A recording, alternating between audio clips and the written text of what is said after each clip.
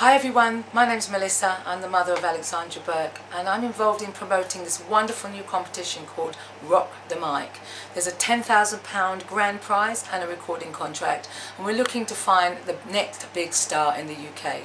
And this is all for charity. So by entering you're going to be helping a wonderful cause and in the process we're going to find a wonderful new star. So come on guys, www.rockthemic.co.uk, check it out, enter, pass it on to your friends, your family, anyone you know that sings, dances, tells stories. I don't give, I don't mind yes. what they do as long as they can rock that stage. Let them enter. Look forward to seeing you there. Okay, thank you.